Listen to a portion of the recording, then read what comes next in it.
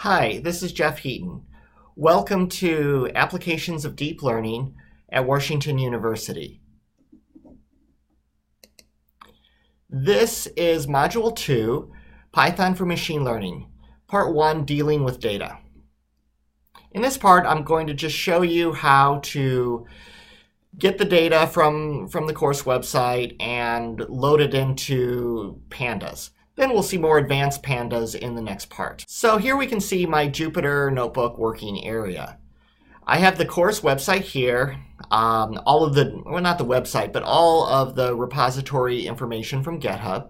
I've also got a data directory and a notebook from, from the previous part. So let's look at the data directory because this is where we will access it. If you go into the course website itself or the course uh, material, I do have a data directory there and this is all of the data that we, that we deal with with this course. However, we for notebooks that you create on your own outside of the class folder, you want to have your own data directory so that you can directly access them. So let me go into there. I put two CSV files up here just for the, what we're going to look at in this part.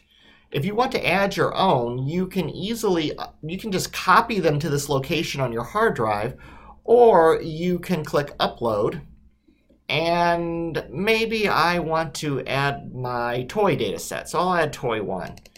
And I just click that, upload it, and now you see it joins the other files. And now it's here for Jupyter Notebook to do. If you're using Jupyter Notebook in the cloud through IBM or something else such as that, then you you will need to upload them. Otherwise, you can just copy them to your to your directory. So what I am going to do here is now make use of this. Is let me go back to my um, sort of root Python area. I am going to go ahead and create a new Python 3 notebook. I will go ahead and give it a name because that's always a good idea. Now we're going to make use of pandas. So we're going to import pandas as PD. You'll often see this for pandas. And this should work so long as you have pandas imported. You can also really quickly print out the version of pandas. Those are underbars. That's just a quick check to make sure that you have pandas installed. That version is perfectly fine. Pandas is not too sensitive of version numbers. They don't make a lot of breaking changes, so I don't, I don't really specify which version of pandas you need to use for this course. I am also going to import OS, which is the operating system utilities. This lets me do some handy um, capabilities. So I am going to just create path equals. That is the path that our data files are going to load in. I can now create a file name to read from that directory by doing a um, os.path.join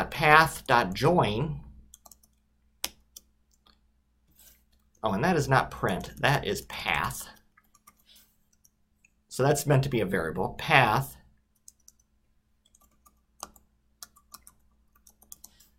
Path and iris.csv. So what that is doing is joining that together. So if I just print out file name read,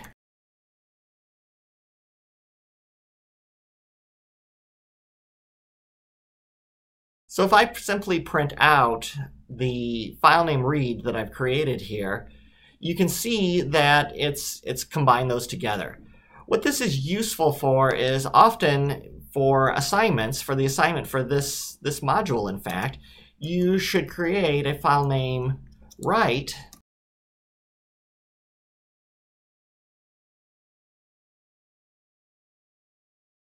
And now we have both a reading file name and a writing file name. So we'll later write something actually to that.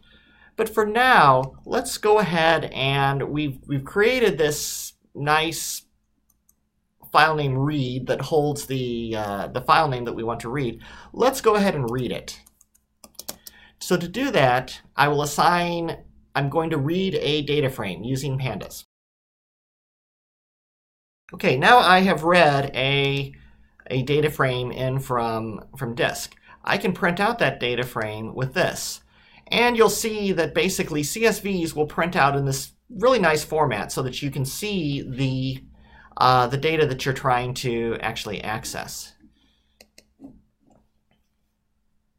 If you want to narrow that down so you don't see as much, you can always do this. That says print out from 0 to 5. You can print out the data really at any location. That prints out nothing because now I'm going from 10 backwards to 5. Uh, but if you wanted to do 10 to 15, that would show you those, those data elements. Again, remember, Python always starts just short of the final um, value that you're actually that you're actually specifying. If you wanted to write this file, then you could also write it to the um, uh, to the Python or to the data directory that you've created. So we have file name write. We can also, with this data frame, now if you want to save the CSV, which is something that you need to do for a, for this, the class assignment because you need to upload your, your CSV and your, your source file, what you can do is do df.to CSV. Okay, that doesn't appear really to have done all that much, but if we now go back and look at our data directory, we can see that we now have the output CSV file, which you can view as, as a CSV file. So you've generated an output file. That will be very similar to what you will do for the assignment for um, this section. You'll learn more of what you need to do for that in the next part. By the way, this index equals false, that is also very important. If you don't put that on, it will put, so if we look at output CSV here, notice it just literally starts right with the four um, measurements of the iris and its species. But if you did do this, if you didn't do that, it would put a row number in there for you. And usually we do not want the row number. So if I refresh this, now you can see this row number. Don't submit your CSV files for that. They're not considered valid, um, and you'll lose points for having a row number in there typically. All right, that is basically just how to deal with the data directory and read files in and out. In the next part, I am going to show you a little more about how to make use of pandas itself so that you can complete the assignment for this module.